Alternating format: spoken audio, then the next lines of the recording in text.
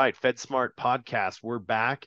We've got Steven Puckett here. I'm Jesse Black, your host of FedSmart podcast, and I have some great information for you today. Steven has some fantastic info that we want you to hear. If you're a federal employee and you're tuning in, please do not turn us off. We've got some information that every federal employee is going to benefit from, and it's going to help a ton. This is something that I will say on a high, high majority of appointments um, that we do, we run into this and we have this question. And it's important for every single federal employee to understand. It revolves around federal retirement as a whole, and it's a pivotal piece for federal retirement. It's something very, very important. And if more and more people understood this, it would really help them set up their retirement to be successful.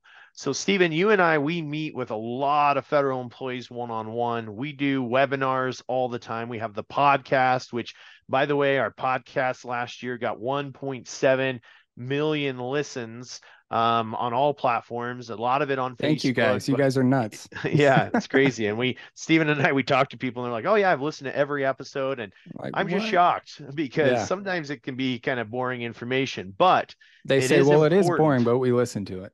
yeah, exactly. I listen for they they usually tell me they listen for Steven Puckett. They're like, that Steven guy's great. If you could stop talking and Yeah, let Steven no. talk. And I'm like, I, I can't do that. I I have to hi, hog the the You're fear, spotlight. fearless leader, man. Just do your thing.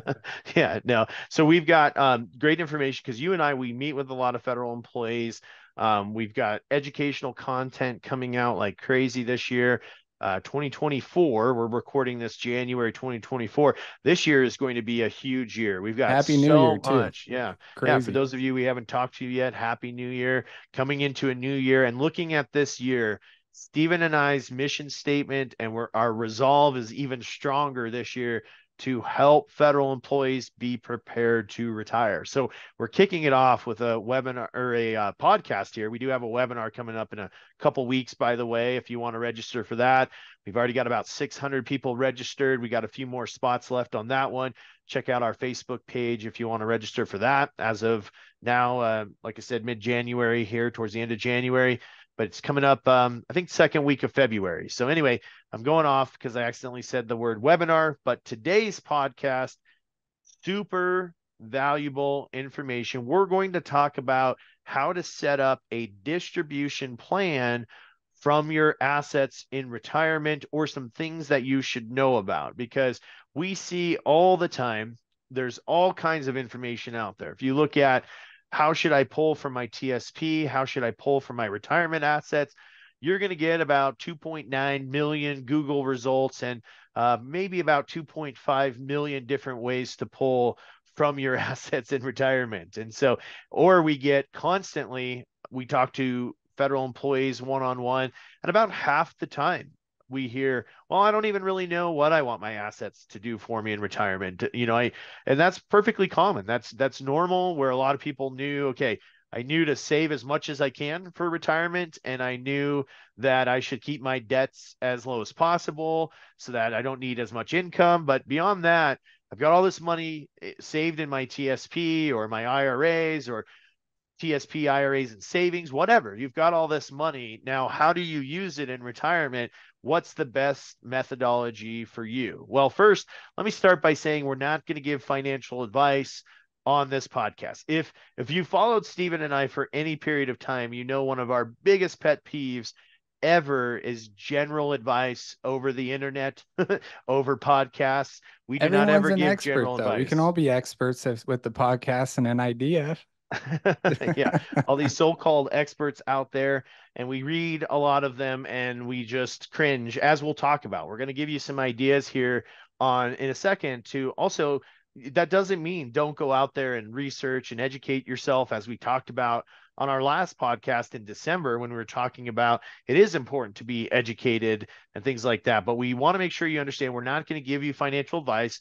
By the time that you end this podcast, you're not going to have set up a distribution plan, but you're going to have a good idea on some different things to pursue and how to set up that distribution plan. Okay. Just so you understand that. Do not take anything that we say as advice that you should do this and run with it. We're going to walk through a couple different methodologies and ways that people have set it up successfully, but that does not mean in your situation that that's going to be the piece that finishes your puzzle. So we're going to go through a couple different things today and methodologies, and we're going to look at okay, with the TSP and with your other assets, how do we maximize those in retirement, or what are some ways that we potentially could do that. Okay.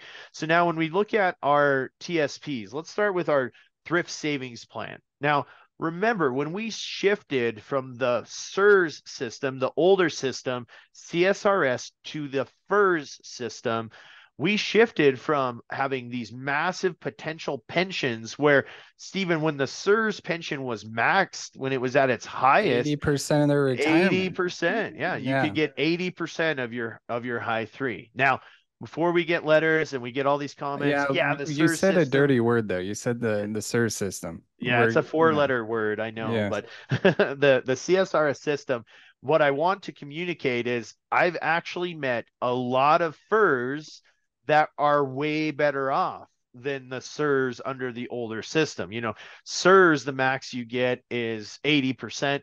I've worked with just in the past couple weeks and definitely a lot last year, a lot of FERS that are actually getting 100% of their income as take home, believe it or not. And that would not be possible or it would be hard to do, I should say, under the CSRS system. So even though the CSRS was great, the thing that the reason I bring up CSRS is when it shifted to FERS, and after 1983, when people were hired and they came into the FERS system, one of the biggest responsibilities to make sure you have enough income in retirement was you needed to save in your TSP. So, for those of you who don't know, really quick, the, the CSRS system had a much higher pension computation, but they didn't pay into Social Security at all.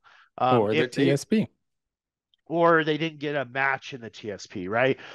Excuse me, they could contribute to the TSP, but they Right. were not able to get the match, right? They didn't get the match.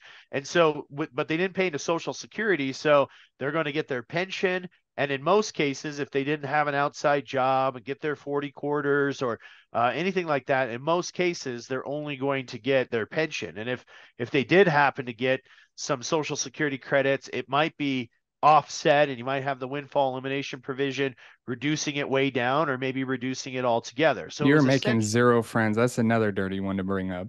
yeah. So yeah, exactly. I'm man, starting off the year, I'm gonna get all kinds of hate with mail and enemies. things like Yeah. that. All of this is going to make sense on why I'm saying it though, because the CSRS system, a lot of less responsibility on the federal employee. Boom, you work your 30 years, you know, you're going to get about 70%, 72%. You work 41 years, 11 months, you're getting 80% of your take home. But when we got to the FERS system, you're going to get less pension, but you're also going to get Social Security. And then lastly, it was your responsibility to save in the TSP to be able to bring your income back up. So when we talk to most people and we say, and they eh, or they tell us, they say, I don't know why I saved in the TSP. I don't know what I want the these TSP funds to accomplish for me. A high majority of the time, you're going to want some income from the TSP.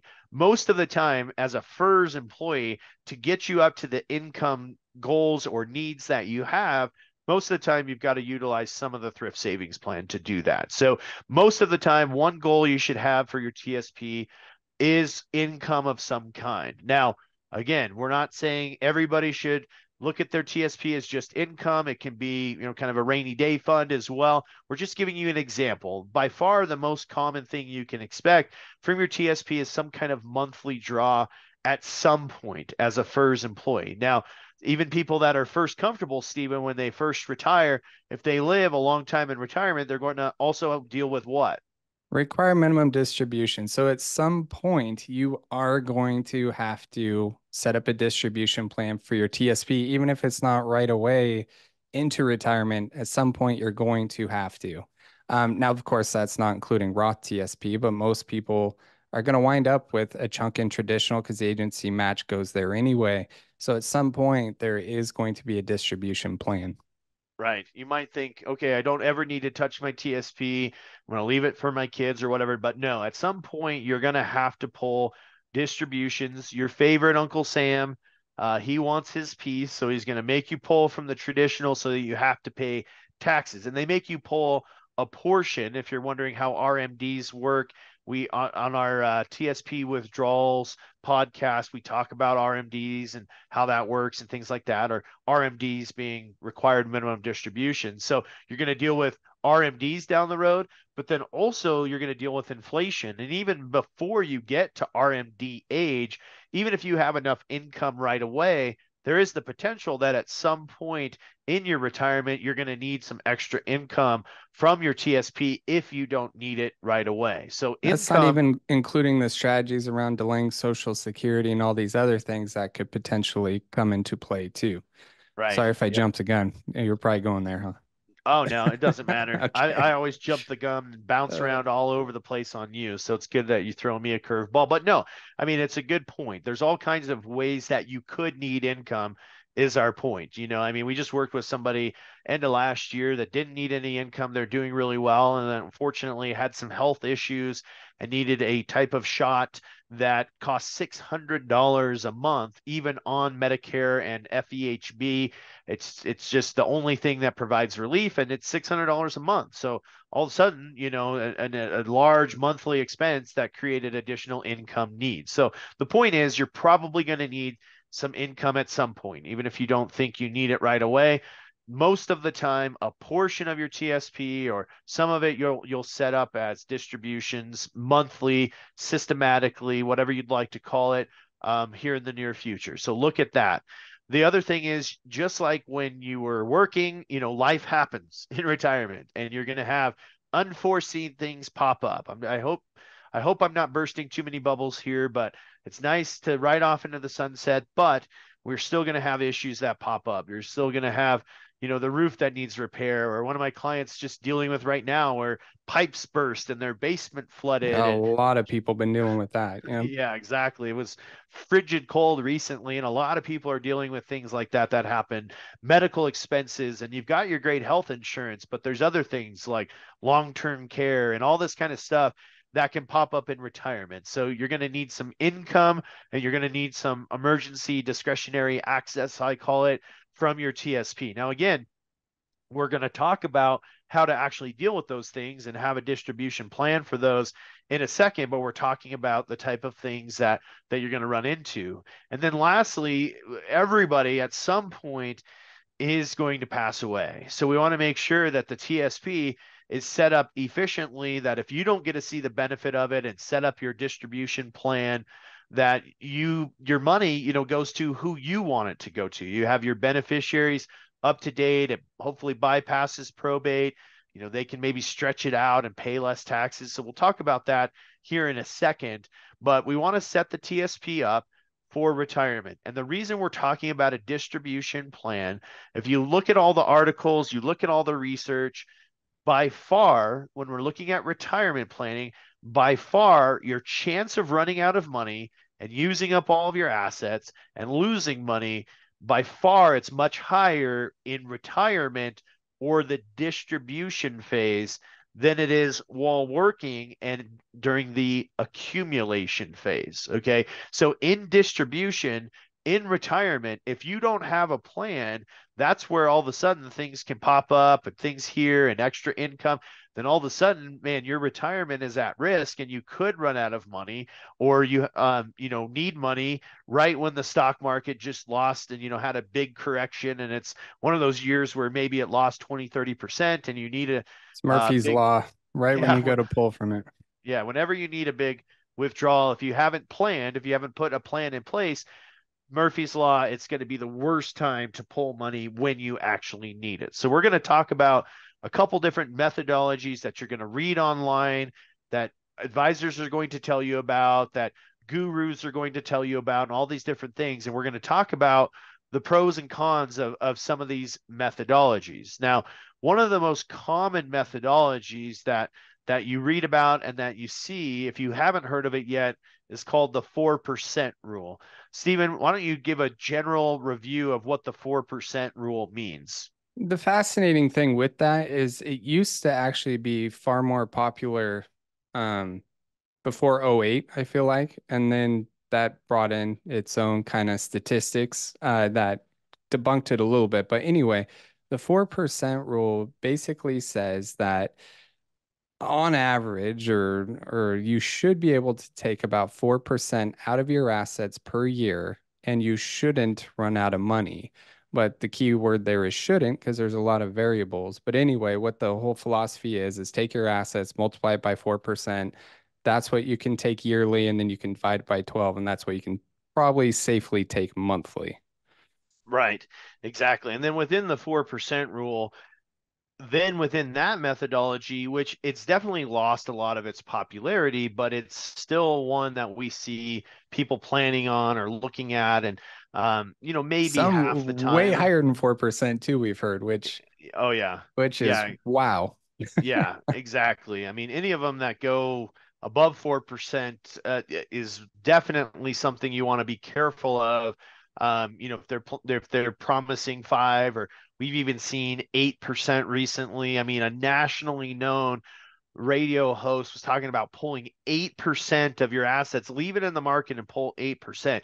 Again, this I'm not going to go off on a tangent here, but again, one of the reasons that I mean, general financial advice is is crazy. I mean, just pull 8% and leave it in the market and you'll be good. I mean, that's what a very very well known and followed uh, radio host said, and I, I, mean, just shocking on the math. And we'll we'll do a video sometime to show why that's so shockingly bad, so you don't just have to take our word for it. But um, I mean, crazy. So, like you said, I mean, four percent is what a lot of people are looking at, but then you see other methodologies like oh you can pull 5% and you can pull this percentage and people just give you a percentage and we'll talk about here in just a second on why that is potentially dangerous. And then also along the same lines, like they, they word it different ways too. Some people say, okay, pull 4%. There's a lot of people out there say, oh, just divide your TSP balance by 240. You know, just divide it by 240. That should give you 20 years worth of withdrawals and you should be good. I mean, there's things like that. Again, really general um, financial and to be fair with the 4% rule, there are ways of getting percentages out safely. So I'm not trying to knock the whole methodology. It's the when you're all in the market in retirement, you're not contributing anymore, you're not getting a match. That's really where you got to be a little bit wary about how much you're taking out, just depending upon the funds you're in. Um, so I'm not trying to knock the whole the whole percent rule, but it does matter where you're invested in your own personal situation as always. Exactly. And that's what I was uh, going to say at the beginning when I started talking, and then I threw out other percentages and things like that, that even within the 4% rule itself, there's within it all these other ways of doing the 4% rule. And what right. I mean by that is there's the 4% where they say just leave it in the market and pull 4% and ride the ups and downs of the market.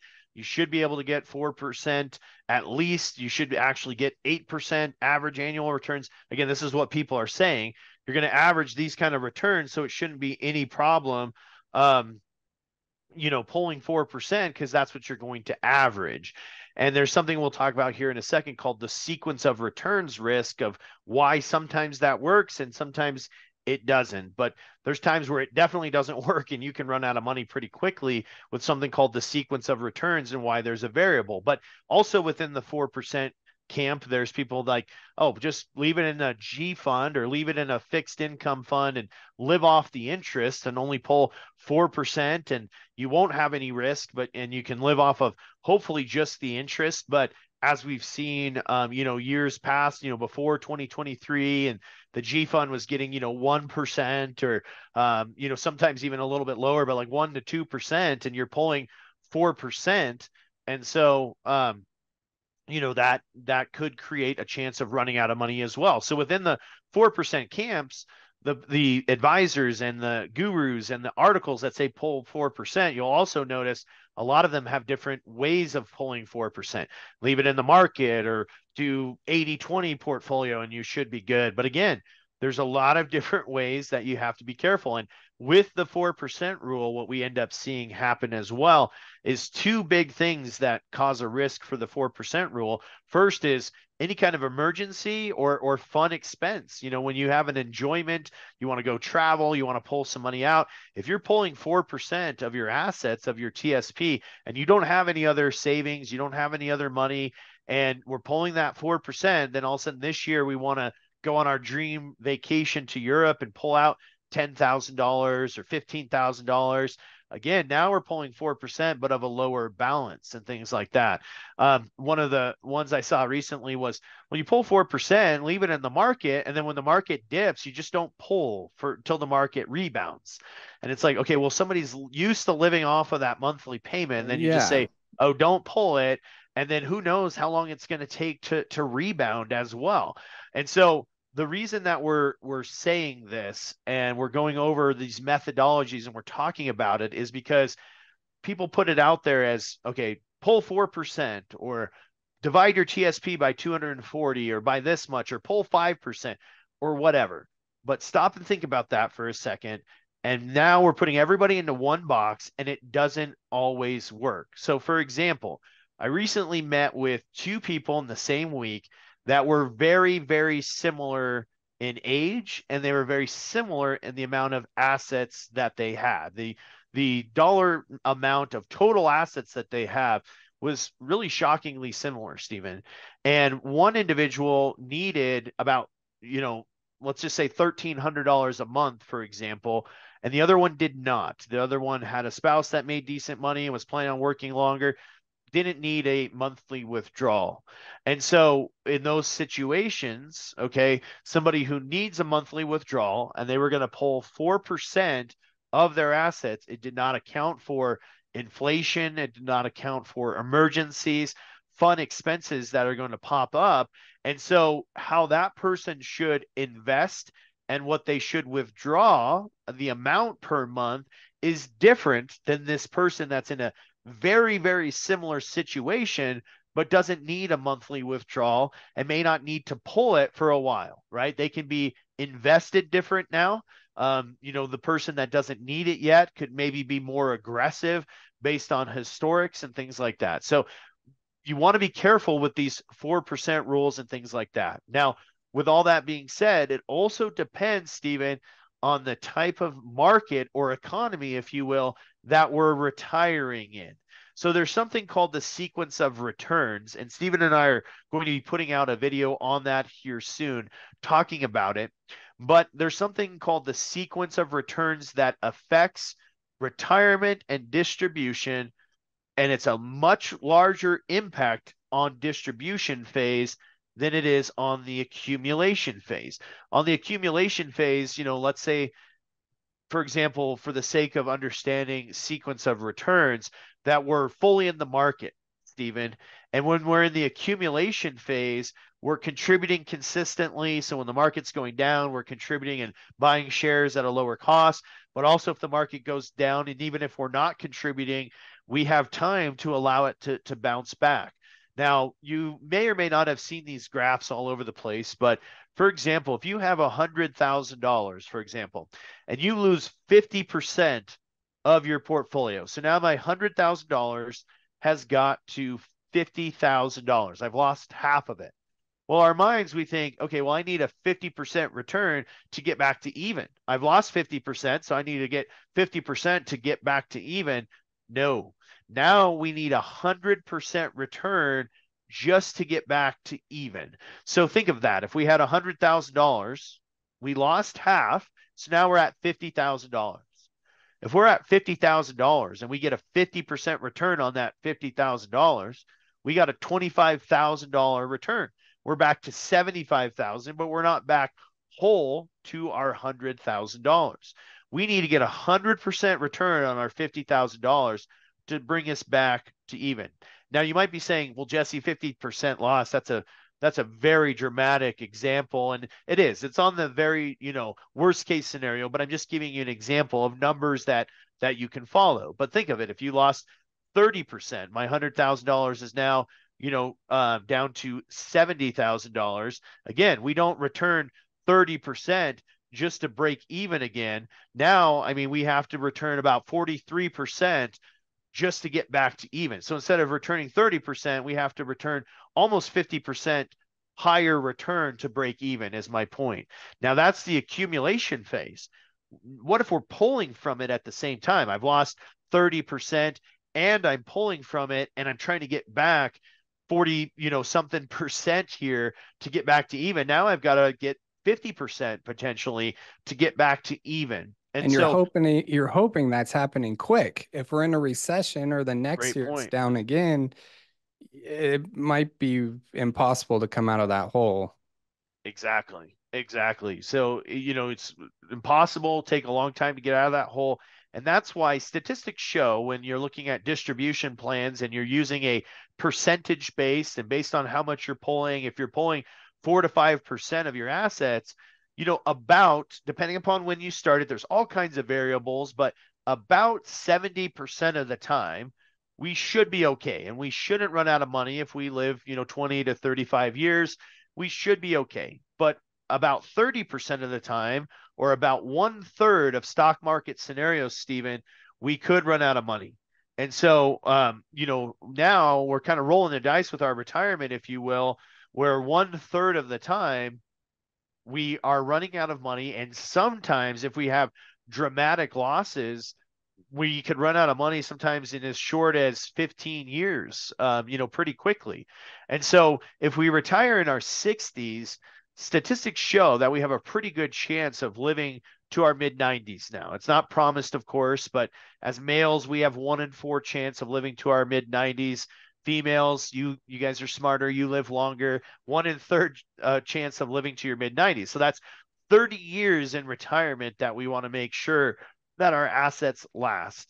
And so to be clear, the the one third of stock market scenarios that we run out of money is Steven there's basically like a six year window three years before we retire three years after that window can be kind of the most crucial window of retirement planning if we have large large losses within that six year window that's where our chance of running out of money goes goes up and we can enter into that one third scenario where where we run out of money so that's why there's again as you said steven 4% used to be almost like a ironclad rule almost. It almost was like a a set in stone pull 4% you'll be good. And then 2008 happened and a lot of people lost anywhere from 30 to 60% of their portfolio and people were running out of money and they said well maybe the 4% rule doesn't always work. And again that's pulling 4% but doesn't account for emergencies and other expenses and other plans you might have. You might want to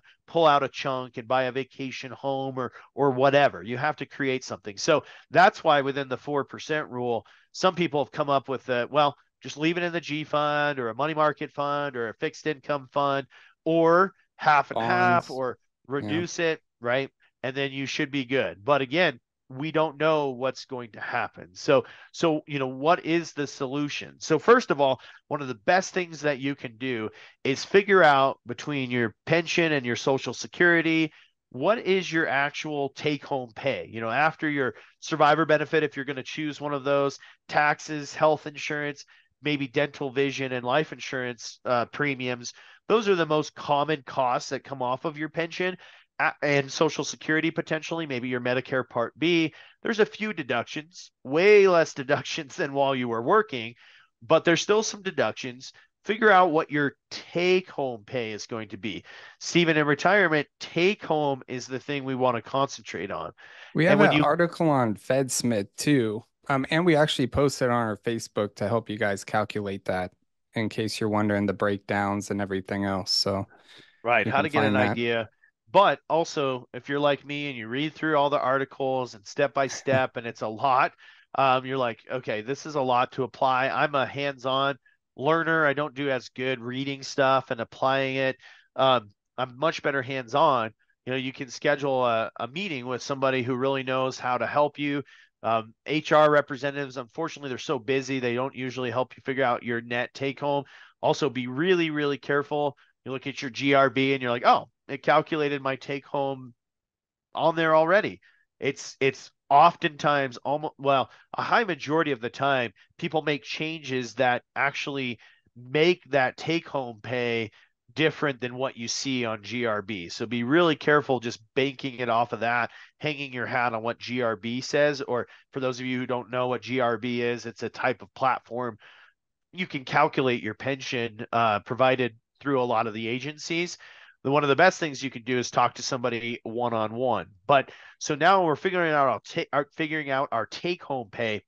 That helps us decide how much we need to pull monthly from our TSP. Okay, so then we know if I'm getting this much from my pension and Social Security and after taxes and all my deductions, I need an extra $1,500 a month or whatever it is.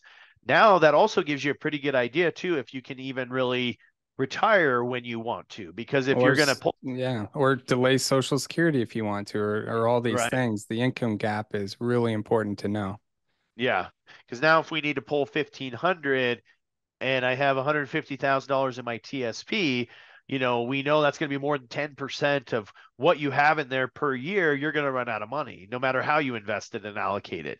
And so you're going to either need to work part time or work longer than you thought or change your lifestyle to where you don't need as much monthly income. But now, based on that, you know, now you know if you can retire. And that's why talking and every scenario should be different. Whereas somebody over here might have $150,000 and has very very low income needs doesn't need 1500 a month doesn't need anything they might be able to retire even at the same age. So you can see why it's different. Whereas if we put out there you know oh just pull 4% of what you have in your tsp and then that person says i've got $150000 you know 4% is not enough. That's going to be you know uh, what is uh, 4% of 150000 about 6000 a year i believe or about 500 a month that's not nearly what they need. So they can't they got to make up a difference of some kind. So you can see why the 4% rule um, doesn't always work. It's not great for everybody just to know about. So again it's okay well jesse what's the what's the solution then? How do i how do i do this? And what you do is it's best to formulate a distribution plan specific to your situation do not read anything online and look at the 5% rule the 4% rule divided by 240 the when the market's up that year you get to pull. When the market's down you don't. There's way more efficient ways to set up a distribution plan. And once you understand what you need or don't need from the tsp that also determines how you should invest. The other things you have to be very very careful of is gurus and people that say everybody should be invested this way it's shocking to me to see a lot of these comments and questions on Facebook and people don't even ask questions. How much do you need a month? When are you hoping to retire? When are you going to need that much per month? They don't What's ask the anything like for? that you know, it's just exactly. Yeah, they just say uh, questions. Uh, here's how you should be allocated. You should be 100% in the market, or you should be, you know, 80 20 or whatever. They didn't ask any questions they don't know. And as somebody that has a lot of experience, you know, Steve and I have been doing this a long time, and you go through like a 2008 type situation, and we saw the people that were able to survive that. So, anyway, the solution is to allocate your assets correctly and to invest them correctly. So inside the TSP, there's times where you can reallocate, but then there's also times where maybe it's worth taking some money from the TSP and putting it into an IRA. And then we either touch the TSP first or the IRA first. And one of the reasons we do that is, you know, people say sometimes, well, do an 80 20 portfolio and put 80% in the market and put 20% in a fixed income fund. Then, when the market's down, you pull your 4%, but you only pull it from your fixed income side. Well, that doesn't work in the TSP. We have to pull proportionately. If I have 80% in the market, my withdrawals have to be 80% from the market when I make a withdrawal because that's how the TSP yeah, does meaning you can't just say I'm just taking funds out of the G fund. You can't right. do that. It'll leave pull my C fund alone. And, yeah. Right. Yep. Yeah. Pull from this fund, leave this mm. fund alone. But you can do that in a lot of IRA accounts. You know, most uh, some of them you set them up. You can say leave my stock fund alone, allow that to rebound so I don't solidify losses. Pull from my fixed fund. Again, as we said at the beginning, we're not saying everybody move to an IRA at all. There's reasons to maybe stay in the TSP a lot that we can't even list here. Again, another perfect example of why you don't take general financial advice. Some of you, if you move your money, you're retired, you're not even 59 and a half yet, you created a potential penalty in the IRA doing what you thought was better, but you don't have a penalty in the TSP, you know, potentially. And, and so lots of things like that. So, um, allocating your TSP correctly and creating a plan based on your income gap, what you need per month take home. Then we figure out what percentage of your assets you'll need, but then most importantly, how to efficiently pull from those assets to where it should last you the rest of your life. A high chance it will. Or there's even ways, Steven, without annuitizing your TSP, without choosing a lifetime income um, annuitization from the TSP to actually even guarantee you won't run out of money. And I don't use that word lightly. You know, there are ways to to guarantee your income with some in, uh, vehicles and um, investment options and things like that that do give you the opportunity. But there, but at the very least, you can have a solid plan where statistically you're very, very unlikely to run out of money or you're not going to run out of money because you set up the correct monthly distribution based on your goals and needs. So, a lot to um, uh, address there, but the bottom line is you can see when it comes to retirement and it comes to your distribution phase, it's really, really important that you set up a specific distribution plan for you specifically, and that will determine how you should allocate. So, we highly recommend that you meet with a fiduciary financial professional who can set up a distribution plan for you and do it in a way that's going to make sure that you shouldn't run out of money, very unlikely, or are not going to run out of money. Plus, you have money for emergencies, you have money for travels and enjoyment, and it's set up efficiently to transfer to your beneficiaries. It's really important to talk to a financial professional one on one. If you don't know a fiduciary retirement planner that that knows the federal system as well, and that's really important, you can schedule a meeting with Steven or I on FedSmartRetirement.com. You can go on there and there's a tab to book an appointment with us Steven and I create distribution plans every week, you know, dozens of them, oftentimes a week for federal employees. And that's not a, you know, shameless plug. That is, we really want to make sure you're set up correctly. We don't want to get phone calls from you guys in a couple years if the market does start to dip or interest rates or things like that. Of, man, Jesse, I'm really running out of money, or things is things are really, really tight.